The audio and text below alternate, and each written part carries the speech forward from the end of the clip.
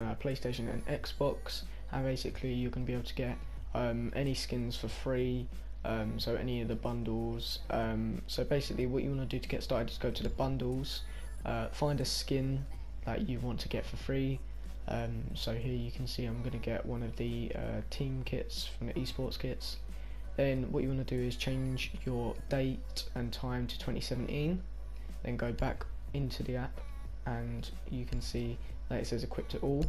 Then you want to confirm and then once you've done this you just want to um, change your time back to 2020 and then as you can see here the operator has it. Um, simple and easy but if you did enjoy the video please make sure to like, subscribe